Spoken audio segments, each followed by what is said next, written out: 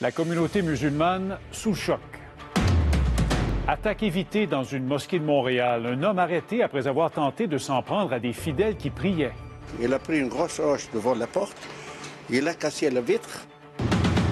Un gazouillis qui soulève les passions. François Legault rabroué après avoir fait l'éloge du catholicisme sur Twitter. L'analyste politique Marc-André Leclerc est avec nous. This is awful. Our bodies and our minds are not meant to go through these types of tragedies. Encore une folie meurtrière aux États-Unis. Une fusillade fait quatre morts et neuf blessés à Louisville, au Kentucky.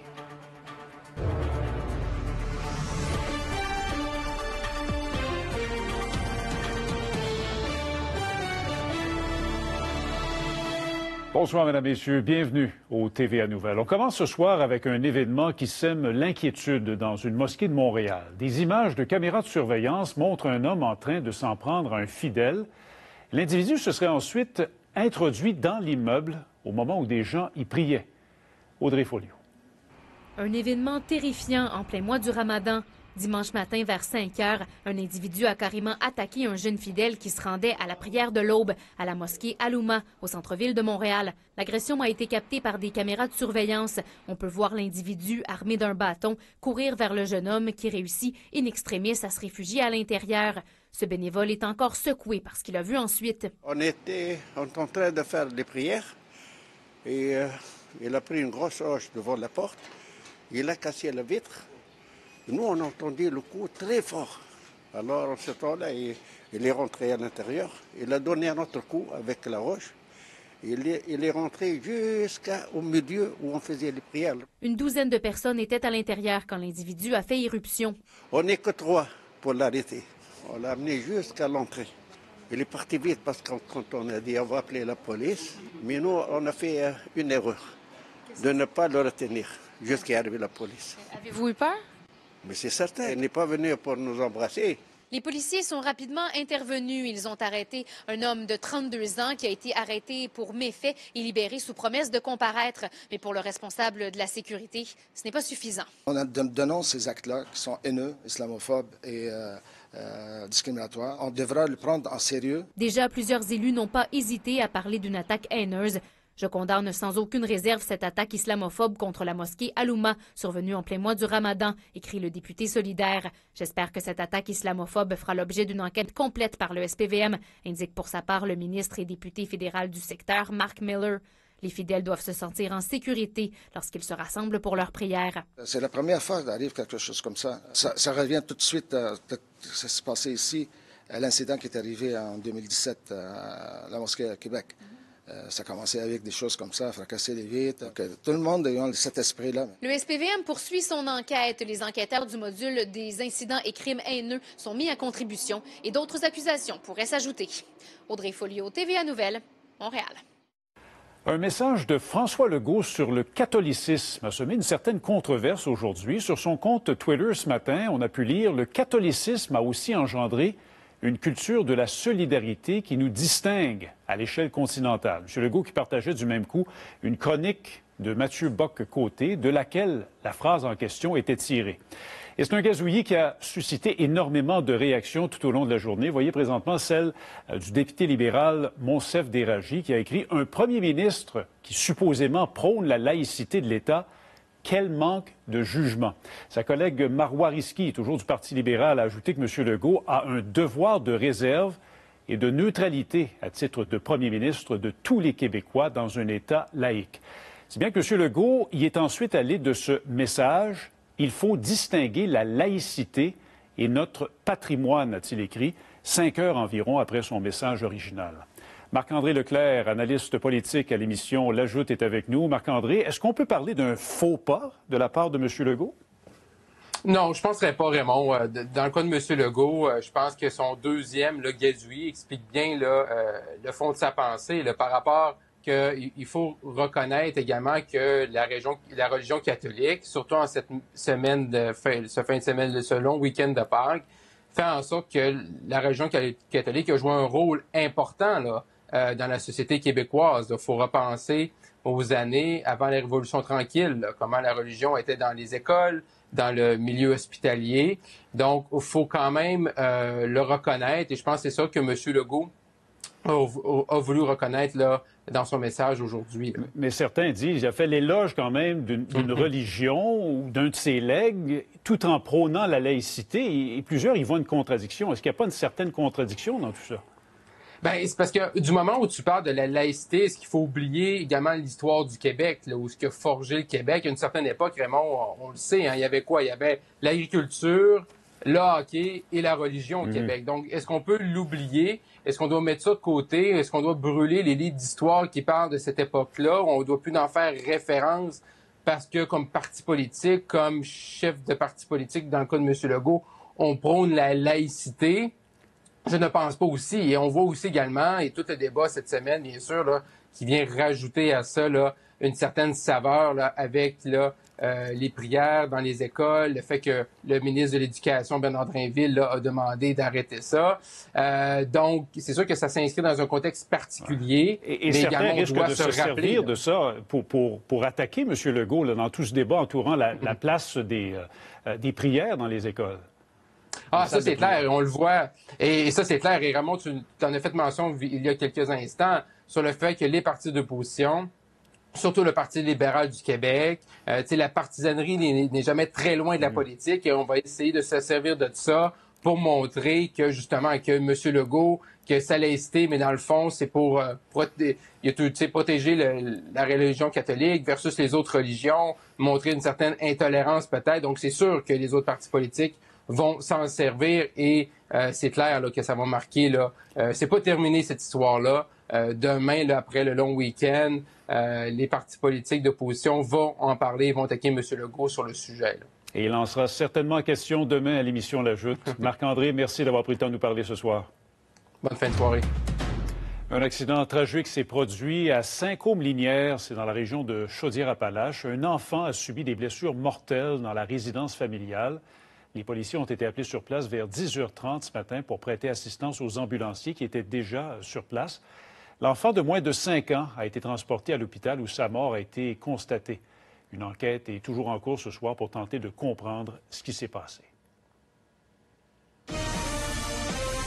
Le bilan de la tragédie à Louisville, au Kentucky, s'est alourdi. Une cinquième personne a succombé à ses blessures. Le tireur a blessé huit autres personnes ce matin. C'est survenu à l'intérieur d'une banque aux alentours de 8h30. Le suspect, qui aurait agi seul, a été abattu par la police. Tout porte à croire qu'il était un employé de la banque. Il aurait d'ailleurs laissé une note à ses proches expliquant qu'il anticipait un licenciement. Le gouverneur de l'État, qui connaissait une des victimes, est apparu très émotif cet après-midi. We lost four children of God today, one of whom was one of my closest friends. Tommy Elliott helped me build my law career, helped me become governor, gave me advice on being a good dad. It's one of the people I talk to most in the world, and very rarely were we talking about my job. En France, maintenant, un sixième corps a été retrouvé dans les décombres de cet immeuble qui s'est effondré à Marseille. Deux personnes manquent toujours à l'appel, plus de 48 heures après l'explosion qui a détruit l'édifice. Les sauveteurs poursuivent leurs efforts dans l'espoir de retrouver des survivants. On ignore toujours la cause de l'explosion, mais il pourrait s'agir d'une fuite de gaz. La compagnie Tesla fait face à une poursuite parce que des employés auraient violé la vie privée de plusieurs propriétaires. Ils auraient partagé entre eux des vidéos tirées des caméras des véhicules qui montraient, entre autres, des automobilistes dans des situations embarrassantes. Tous ceux qui ont possédé ou loué une Tesla entre 2019 et 2022 peuvent se joindre à la poursuite le gouvernement américain a formellement demandé à une cour d'appel fédérale de garantir l'accès à la pilule abortive. Ça fait suite à cette décision d'un juge du Texas vendredi de suspendre la mise en marché de la, de la mifepristone, autorisée depuis plus de 20 ans. Dans son recours, Washington rappelle que les effets secondaires graves de la pilule sont extrêmement rares. Colossal de forage pétrolier s'apprête à voir le jour en Alaska et il est loin de faire l'unanimité. Les manifestants sont d'ailleurs descendus dans les rues de Montréal aujourd'hui pour dénoncer le projet Willow. Tout ça alors qu'une fois de plus, à l'approche de l'été, le prix de l'essence repart à la hausse chez nous. Philippe Bessette. Attention automobilistes, la transition vers l'essence d'été devrait se faire bientôt et ça va coûter plus cher à la pompe. Euh, c'est pas tellement l'essence, c'est qu'on ferme des raffineries pendant qu'on fait ça. Et donc, il y a moins d'essence disponible sur le marché nord-américain et ça va toujours augmenter les prix. Malgré les pressions des environnementalistes et des scientifiques au Canada comme aux États-Unis, on est encore dépendant des énergies fossiles. Depuis la, la pandémie, la guerre en Ukraine, on anticipe que la consommation va se maintenir encore pour plusieurs années. Le président Biden a approuvé le projet Willow, l'un des plus importants depuis 50 ans en Alaska. Le prix du pétrole, présentement, il est somme toute, pour les compagnies pétrolières, il est somme toute intéressant. Le projet Willow coûtera entre 8 et 10 milliards de dollars et produira près de 400 millions de barils de pétrole, mais ce ne sera pas sans risque. Le cahier de la décrit les contraintes liées à la protection de l'environnement simplement dans l'exploration. Là, ça fait plus de 50 pages. Situé dans le nord de l'Alaska, les environnementalistes craignent un déversement comme en 1989. Ce bris-là, qui est, euh, il y avait un naufrage un pétrolier, l'Exxon Valdez, euh, et ça va créer des, des, dommages très importants. À des milliers de kilomètres du site pétrolier,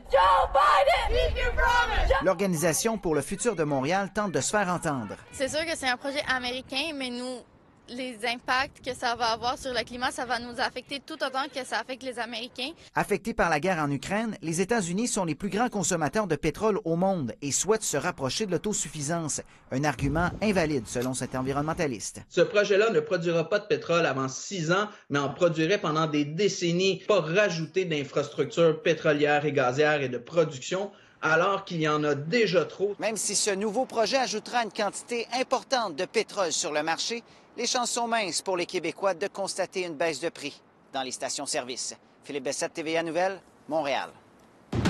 Après la pause, est-ce le temps de rénover? La baisse des prix des matériaux et la disponibilité des entrepreneurs pourraient vous convaincre. Donne les détails dans quelques instants.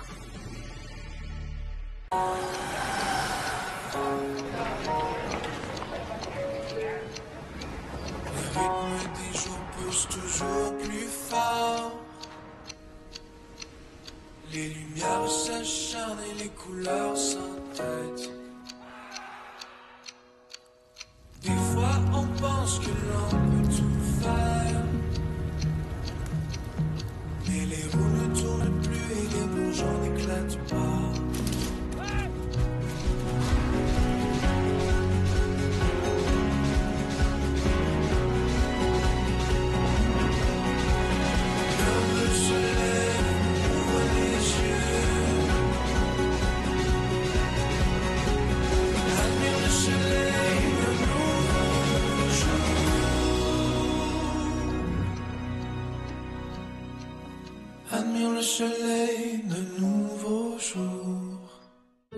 Crédit TPS TVH m'a énormément aidé pendant la pandémie.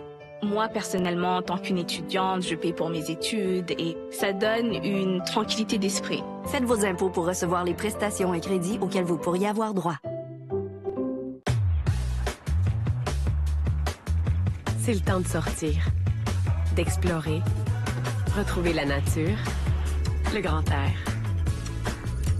Maintenant, vous pouvez voyager confortablement avec style grâce à la technologie de pointe. Maintenant, vous pouvez être inspiré par tout ce qui vous entoure.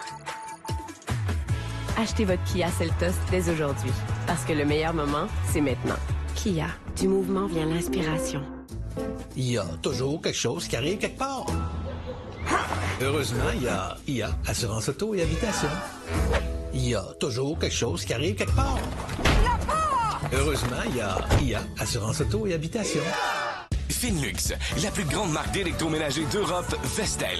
Maintenant au Canada avec sa ligne exclusive de qualité. Une gamme complète qui répond à vos besoins. Finlux, disponible chez EconoPlus et bientôt dans toutes les grandes bannières. Les véhicules électriques Nissan font bien plus que rouler à l'électricité. Ils réinventent le mouvement, vous poussent à aller encore plus loin et vous propulse vers l'aventure. Faites de chaque escapade un moment énergisant. Nissan a parcouru des milliards de kilomètres en mode électrique. Résultat, ces véhicules ne sont pas simplement électriques, ils sont électrisants. Une décennie de reportages qui ont fait changer les choses. Moi, je n'y ai pas vu de conflit d'intérêts. J'ai visé euh, sa tête. Avez-vous de l'argent qui appartient aux Québécois? Une émission spéciale sur les 10 ans du bureau d'enquête. Vendredi, 21h30. Environ 16 000 clients d'Hydro-Québec sont toujours sans électricité ce soir, la plupart dans la grande région de Montréal. Pour certains, il s'agit d'une sixième soirée à la chandelle. La frustration se fait d'ailleurs sentir chez plusieurs sinistrés. Mais Hydro-Québec demande à tous un peu plus de patience, surtout dans les régions boisées et difficiles d'accès. On sait que les nuits sont fraîches, on sait que c'est difficile sur le moral des troupes. Ce qu'on dit aux gens, c'est euh, ne baissez pas les bras. Euh, nos équipes arrivent tôt ou tard. On vise toujours d'avoir euh, rétabli la vaste majorité ou la presque totalité de nos clients d'ici la fin de la soirée. par contre, il restera certaines pannes peut-être un peu plus complexes où les dégâts sont plus importants ou encore dans des régions un peu plus isolées qui seront complétées probablement demain. Si vous faites partie des gens qui hésitent encore à commencer un projet de rénovation domiciliaire ou autre, eh bien cette année pourrait être la bonne. D'un côté, emprunter coûte plus cher, oui, en raison de la montée des taux d'intérêt, mais de l'autre, le prix de certains matériaux de construction a diminué au cours des derniers mois et les calendriers des entrepreneurs sont aussi moins remplis. Alors, est-ce le moment de se lancer? Voici le reportage de José Lagagnère. Jeannot transforme son rêve en réalité en aménageant son camion pour le rendre habitable et voyager. Il va y avoir un, comptoir, évier, lavabo. Là. Comme dans le cas de rénovation résidentielle, l'homme est bien conscient que la hausse des taux d'intérêt n'est pas favorable, mais il tente de sauver sur les coûts autrement. Ben, c'est ça, c'est le faire soi-même, carrément. Là. Écoute, un, camion comme ça, aménagé en campeur neuf, là, ça frise le 200 000 là. Si les taux d'intérêt sont élevés, le coût de certains matériaux de construction est lui cependant en baisse, ce qui peut aussi aider ceux avec des projets de rénovation. Après avoir atteint des sommets avec la pandémie, le prix moyen du madrier de 2 par 4 est passé de 5,52 en juin de l'an dernier à 3,22 en mars cette année, une diminution de 42% Pendant ce temps, le prix de la feuille de contreplaqué a lui baissé de 31 Présentement, c'est vraiment plus les produits forestiers, comme on disait, contreplaqué, l'asponite, euh, le bois. Mais euh, c'est sûr que nous, on s'attend euh, que oui, là, ça va baisser parce que tout ce qui est à, base d'aluminium, d'acier, le prix aussi a baissé. Pour tous les autres qui ont besoin de rénover, qui en plus n'ont pas besoin d'emprunter, les conditions sont, excellentes. En plus de la baisse de prix sur certains matériaux, le consommateur peut aussi tirer avantage plus qu'avant à demander des soumissions à plus d'un contracteur s'il fait faire ses travaux. Habituellement, mes soumissions, c'était pratiquement un pour un. Je faisais une soumission, j'avais la job. Maintenant, on, je vois, c'est quotidien qu'on est trois à cinq soumissionnaires pour la même job. Devant cette nouvelle réalité, le contracteur a dû s'ajuster. faut couper les prix un peu. Euh, oui, jouer avec le taux horaire. Euh, euh, prendre un peu moins de marge sur euh, les matériaux. Euh, puis plus compter là. Les baisses importantes des mises en chantier résidentielles des derniers mois expliquent en bonne partie la plus grande disponibilité des contracteurs. Mais il y a également une tendance à la baisse du nombre de projets de rénovation. Là, avec les taux d'intérêt qui, augmentent, on s'attend à ce que ça ralentisse un petit peu et on pense que par rapport au record qu'on vient de connaître en 2022, on aura une baisse d'à peu près de 10 dépenses de rénovation. Mais le marché de la rénovation, comme bien d'autres, demeure toujours difficile à prédire. José Lagagnère, TVA Nouvelle, Québec. Le beau temps semble bien installé au Québec, au grand plaisir des touristes, mais aussi des hôteliers pour qui la saison s'annonce très bonne cette année.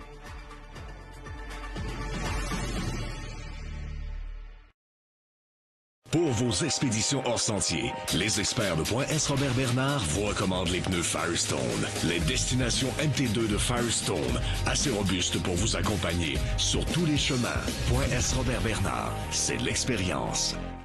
On le fait pour les visionnaires, les bricoleuses et les patenteux. Pour ceux qui ont défié la gravité, puis les audacieux qui ont osé rêver. Voici le nouveau poulet Big Mac, offert pour une durée limitée. Interrompu par des yeux secs. Obtenez un soulagement rapide avec les gouttes oculaires Hydrasense. Conçu avec un lubrifiant de source naturelle. Les gouttes oculaires Hydrasense. Les véhicules électriques Nissan font bien plus que rouler à l'électricité. Ils réinventent le mouvement vous pousse à aller encore plus loin et vous propulse vers l'aventure. Faites de chaque escapade un moment énergisant. Nissan a parcouru des milliards de kilomètres en mode électrique. Résultat, ces véhicules ne sont pas simplement électriques, ils sont électrisants.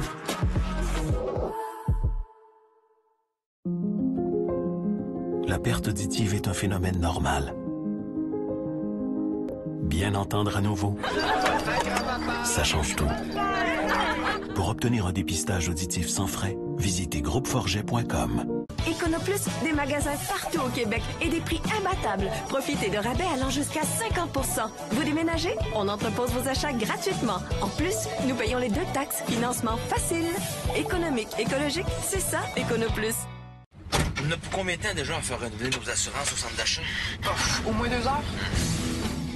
Le monde a changé. Avec Sonnet, achetez votre assurance habitation et auto en ligne en seulement 5 minutes. Visitez sonnet.ca dès aujourd'hui. En attendant l'autobus au coin de Casse-Grain Saint-Viateur, Vincent a découvert son côté d'équipeur. C'est exactement là qu'il a réalisé que des vêtements secs, c'est le fun. Bienvenue chez l'équipeur, Vincent. Tirez-vous une bûche? Les pourvoiries du Québec ont plus de 330 histoires à vous raconter.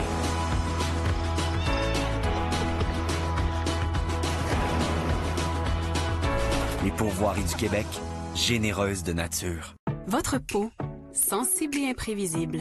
Le gel hydratant à l'avoine Avino Calm and Restore, à base d'avoine prébiotique pour les peaux sensibles comme la vôtre, fait plus que nourrir votre peau. Il en renforce aussi la barrière d'hydratation. Avino. Le congé pascal marque traditionnellement le début de la saison estivale pour les hôteliers de Québec et la première fin de semaine n'a vraiment pas déçu, alors que la plupart des hôtels ont affiché des taux d'occupation très élevés. Élie Duquette. Qu'ils soient originaires d'ici Je viens de Montréal. On vient de Sherbrooke. ou d'ailleurs, We're from Cancun. We are original from India. les nombreux touristes qui ont convergé vers Québec pour le long week-end de Pâques s'entendent tous sur une chose. Très joli, très joli. Et Québec. Une beauté qui attire. Les hôteliers de la région de Québec ont affiché jusqu'à 95% d'occupation pendant la fin de semaine. Des données aussi élevées que pendant les meilleures années pré-pandémiques. Et pour plusieurs lundi, c'était l'heure du départ. On est arrivé samedi puis on repart aujourd'hui. Mais c'était le fun, il y avait beaucoup de monde hein, quand même. Mais... Il y a plein de petits magasins, shopping. puis C'est plus spécial. C'est touristique aussi. Là. Surtout les magasins. Le Pâques, c'est un peu le début de la saison estivale. Pour le directeur général de l'Association hôtelière de la région de Québec, Aloupa Clark, c'est un retour en grand nombre des touristes dans les rues de Québec qui s'annonce prometteur pour la suite. On a maintenant des outils de prédiction là, pour voir un peu qu'est-ce qui se passe dans les livres de réservation des hôtels. Et puis, on a des réservations pour 45% en juin et même du 45-50 pour septembre-octobre. En ce lundi de Pâques sur la terrasse du Frein, on peut entendre de l'anglais, de l'espagnol et parfois même du français de personnes qui proviennent de Montréal qui ont voulu fuir la panne d'électricité. On a manqué d'électricité pendant quelques jours à Montréal, puis on a décidé de venir à Québec. Les dernières nouvelles, hier soir, il n'y avait pas d'Internet. L'électricité, oui, mais pas d'Internet. On partait quand même puis on se croise les doigts, c'est ça? Oui. Et d'autres comme Georgia et Rob qui vivent à Londres ont choisi Québec pour leur lune de miel. No, just going to wander around and see. I'm a history teacher, so I want to go see the Citadel and see the history. Um, and Rob's a geography teacher, so we're going to go through the park and maybe go to the Mon- Falls. Is that yeah? Um, yeah, Mom- yeah. My French is terrible. On est très heureux que les gens choisissent Québec, euh, une des plus belles villes au monde. Donc, des bonnes fins de semaine comme ça, là, on, on s'est bienvenus. It's different. It's different. It's Quebec. It's Exactly. It's Quebec. It's different. Québec, une destination choisie pour sa différence. Il éducative à Nouvelle, Québec. Les nouvelles sont excellentes à la météo, Émilie. Ça fait tellement du bien, Raymond. On a des températures qui vont continuer dans cette lancée de douceur. Peut-être euh, quelques nuages au portrait qui vont s'ajouter pour mardi, mercredi avec quelques précipitations. Je vous en parle dans un moment. Il y en a qui disent qu'elle vit là-bas, là, en plein cœur de la ville. J'ai entendu dire que la nuit, elle sortait à la recherche de nourriture. Il paraît qu'elle peut transporter deux kayaks direct sur son dos. Faisait des gros sons. Personne ne peut trouver de stationnement les jours de match. Mais elle, elle est capable. La toute nouvelle Crosstrek de Subaru. La vraie légende urbaine. Vous êtes unique et votre café Starbucks devrait être à votre image. Que vous aimiez votre café délicieusement velouté, riche et crémeux ou parfaitement équilibré, Starbucks a un café fait pour vous. Chez Domino's, combinez des pizzas moyennes et des accompagnements pour 8,99 chacun. Parfait pour les soirées pizza et gâteau au chocolat, qui virent en soirée pâte et pain cheesy. Ou bien en soirée, on va avoir besoin d'une plus grande table. Domino's, la pizza avant tout.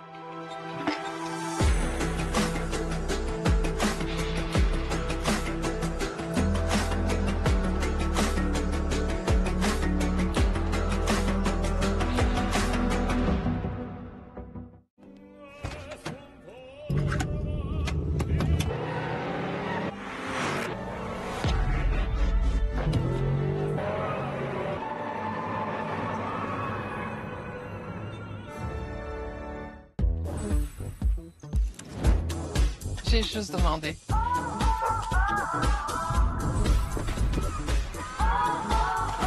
J'ai demandé.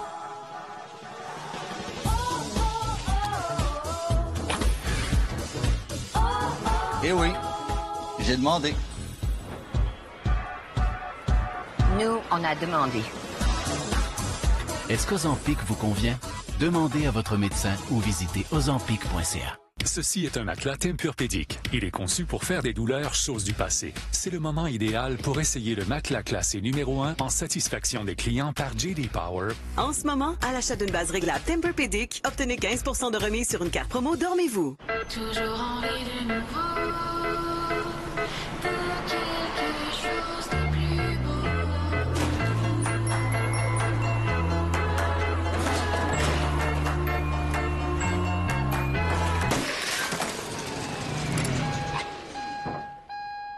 Dans un monde où on préfère jeter au lieu de réparer, nous, on va garder votre auto sur la route le plus longtemps possible. Bumper to bumper. Longue vie à votre auto. La peau sèche requiert un peu plus de soins. Alors prêtez-la aux petits soins avec la lotion hydratante quotidienne Avino à base d'avoine prébiotique nourrissante. Éprouvée en clinique, elle hydrate la peau sèche toute la journée. Essayez aussi notre formule visage. Avino. Les Canadiens de Montréal ont annoncé aujourd'hui leur nomination pour le trophée Bill Masterton, qui est remis à chaque année au joueur le plus persévérant de la Ligue nationale. Il s'agit cette année de l'attaquant Alex Belzil. Après avoir disputé plus de 400 matchs dans les circuits professionnels, il est parvenu cette année à marquer son premier but dans la LNH. On se souviendra que l'an dernier, c'est Carey Price qui a remporté le trophée Bill Masterton. La météo, une présentation de Calinette. Toujours à votre service. Beau temps, mauvais temps. Donc, des températures qui s'annoncent très confortables cette semaine, Émilie. Oui, puis on pourrait même aller chercher plus 20, plus 21 degrés cette semaine dans le sud de la province, mais vers le centre et l'est, vous n'êtes pas en reste. Température tellement confortable. C'est sûr que ça va euh, accentuer la fonte de neige. Ça va se passer assez rapidement cette semaine. Ça pourrait par moment, et selon les régions, augmenter le niveau des rivières. On va surveiller ça de près.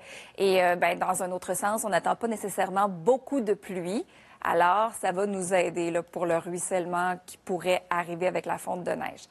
On va voir euh, quand même quelques nuages cette semaine qui vont nous apporter euh, de faibles précipitations, mais comme on le voit là, vers le centre, l'est du Québec, surtout dans le nord de la province, où chez vous, évidemment, ça tombe encore sous forme de neige. Mais les températures qui euh, vont continuer là, dans cette euh, douceur pour les prochaines journées.